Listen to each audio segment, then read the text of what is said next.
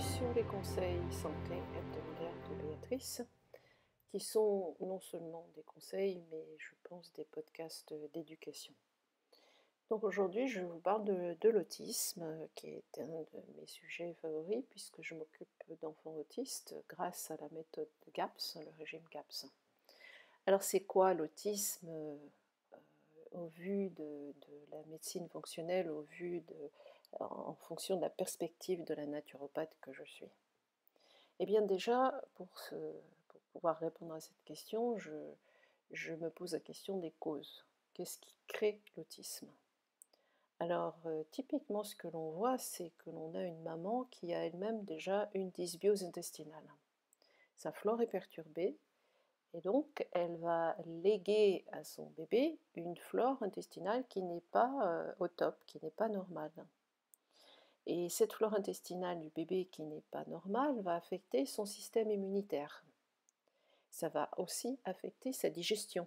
C'est-à-dire que le bébé, typiquement, va mal digérer le lait, même si c'est le lait maternel, et encore plus si c'est du lait maternisé ou du lait de vache ou du lait de soja qui sont très très difficiles à digérer. Donc les protéines de lait qui sont mal digérées chez un nouveau-né va affecter encore une fois la flore intestinale, et la muqueuse intestinale. Quand la muqueuse intestinale du bébé est affectée, euh, les toxines qui passent de l'intestin dans le sang vont se retrouver dans n'importe quel endroit du corps. Et le premier endroit où ça va se retrouver, en général, ce sont euh, toutes les muqueuses ORL. Donc euh, cet enfant, typiquement, va développer des otites, des bronchites, des rhinites, des sinusites, etc qui bien sûr vont être traités par des antibiotiques, et ces antibiotiques et parfois des, stéroïdes vont aller encore euh, plus perturber la flore intestinale. Il faut savoir que notre flore intestinale est responsable à 80-85% de notre système immunitaire, donc quand elle est perturbée chez ces enfants, eh bien, ils sont dans le cercle vicieux, euh, je suis malade, je prends des antibiotiques, je suis malade, je prends des antibiotiques, et c'est un cercle vicieux sans fin. Il y a de plus en plus de, toxines qui se répondent partout dans le corps. Non seulement elles peuvent affecter les muqueuses de la sphère ORL, mais malheureusement, ces toxines peuvent aussi affecter le cerveau. Alors il faut savoir aussi que typiquement, euh, on va recevoir des vaccins, n'est-ce pas? Maintenant, on va avoir 11 vaccins obligatoires. On est passé de 3 à 11, youpi. Euh, les vaccins par eux-mêmes ne sont pas un problème, mais les vaccins sur un système immunitaire déjà perturbé, c'est un gros problème. Et en plus, les exceptions des vaccins, on rajoute une dose monumentale. Donc l'enfant est vacciné, ce qui va affecter encore plus sa flore intestinale, éventuellement va aller affecter aussi son cerveau son développement cérébral et neuronal. Et puis, euh, bien sûr, euh, typiquement, au bout d'un moment, il y a le sevrage, hein, même si l'enfant est allaité et que ça se passe plus ou moins bien, à un moment donné, il faut introduire euh, des aliments solides, et ça, ça passe très mal, puisque déjà l'enfant digérait mal ses protéines de lait, mais quand vous ajoutez d'autres protéines, ça passe encore plus mal. Donc la situation s'aggrave. Et on a de plus en plus d'infections, de plus en plus d'antibiotiques, etc.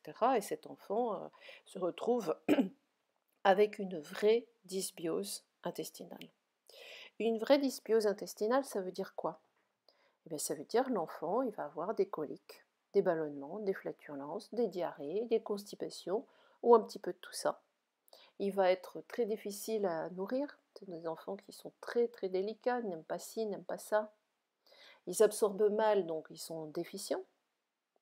Ils ont souvent une constipation extraordinaire avec des occlusions fécales qu'on peut voir à, la radio. Et même s'ils vont à la selle, parce que euh, c'est ce qu'on appelle le syndrome d'overspill. Il y a des expulsions involontaires du trop-plein des selles malgré euh, la constipation. Ça, c'est bien montré euh, dans une radio. Donc, ils ont beaucoup de problèmes digestifs, on va dire. Et tous ces problèmes digestifs avec cette dysbiose intestinale, alors cette dysbiose intestinale, c'est normalement dans, une flore, on a des bactéries, des virus, des parasites, mais tout est contrôlé quand euh, la bonne flore est équilibrée. Mais puisque là, la flore a été déséquilibrée à cause d'antibiotiques, de médicaments et de vaccins, eh bien la flore est déséquilibrée. Et dans ces cas-là, l'enfant va développer un excès de levure, par exemple. Et ces levures qui fermentent, qui fermentent les aliments qui sont mal digérés, donnent des toxines qui sont proches de l'alcool. C'est des toxines euh, que l'on appelle l'acétaldéhyde. L'acétaldéhyde, c'est un dérivé de l'alcool qui va aller affecter donc euh, le comportement de l'enfant. Vous voyez bien comment un alcoolique se comporte. Eh bien, parfois, on a l'impression que ces enfants sont sous. Ils ne peuvent pas marcher droit, ils ne peuvent pas se concentrer, ils ne peuvent pas vous répondre. Ils sont sous influence, vraiment sous l'influence de leur propre flore intestinale qui fermente. La dysbiose intestinale, ça veut dire quoi? Ça veut dire qu'ils développent des bactéries anormales ou en abondance, telles que le Clostridia.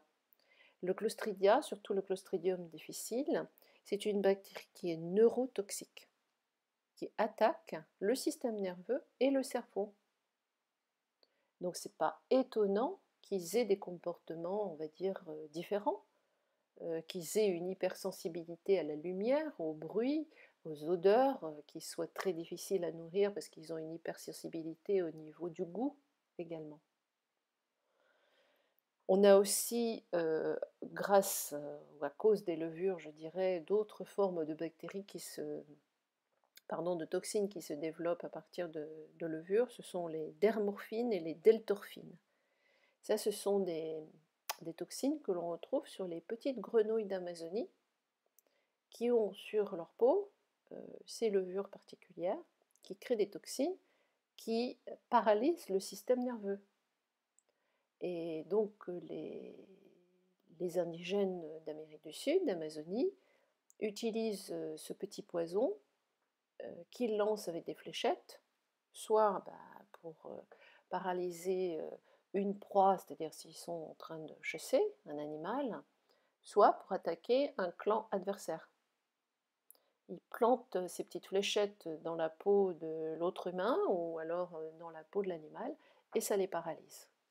Eh bien, nos petits enfants autistiques ont en eux ces toxines qui paralysent. Donc souvent, ils ont des problèmes de, retard moteur parce que ça paralyse leurs muscles. Ils peuvent avoir des problèmes de vue parce que ça paralyse les muscles de la vue des yeux etc., etc. Et puis, il y a aussi les toxines euh, créées par les aliments mal digérés. Si ces enfants euh, digèrent mal le lait, ça crée ce qu'on appelle de la caséomorphine. C'est-à-dire que c'est un dérivé de la morphine. C'est quelque chose qui va vous rendre complètement accro et dépendant de cet aliment. Donc en général, ces bébés sont accros à leur lait, ont vraiment du mal à laisser leur biberon.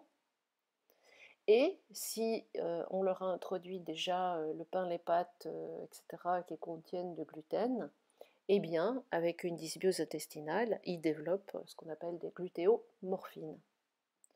Donc, entre les glutéomorphines et la casomorphine, qui sont des morphines qui vous rendent accro comme un addict à n'importe quelle drogue, les dermorphines et les dertorphines qui annihile, affecte le système musculaire.